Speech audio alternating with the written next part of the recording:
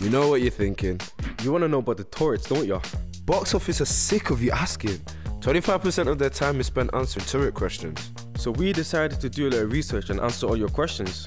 Box office, you're welcome. The turrets are actually chimneys and part of the passive ventilation system. And what is that, you ask? Well, Contact's first revamp was in 1999. When these turrets were created by architect Alan Short, this new design was cutting edge and eco-friendly before eco-friendly was really a thing. Yeah, that's right. They don't just look cool, they're eco-friendly too. They allow naturally ventilated air to be released through the roof. You see those plant pot looking things around the front of the building? Behind them is a big open space, which air can flow through into a thermal labyrinth that cools the building. Then the chimneys pull the air up through the entire building. And there you have it.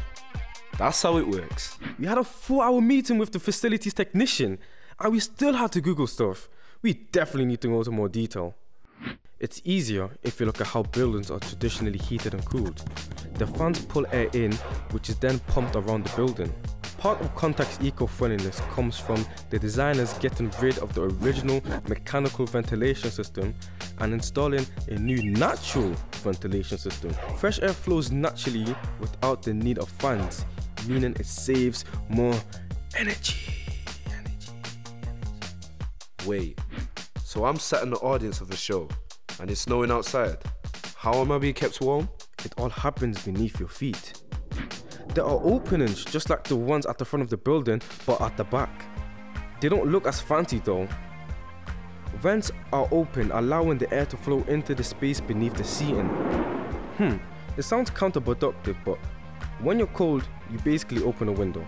You want more air to come in because the more air that enters, the more air you can heat up and pump around the building. Once it's in, the air that passes through the heat exchangers, which are basically pipes with grills on them, these get hot and the air that passes through the fins is heated up.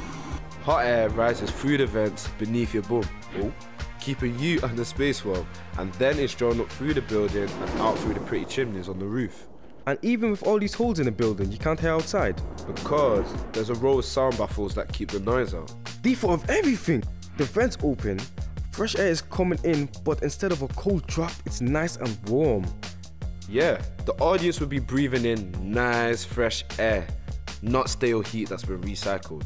Plus with the new refurb, they've added two new ventilation chimneys and ensured all new spaces are naturally ventilated. As it's all more efficient than traditional central heating or air conditioning, the building uses less power than you'd expect, lowering Contact's carbon footprint since the 90s. Big up Contact and his chimneys. They also have an electric van and a charging station.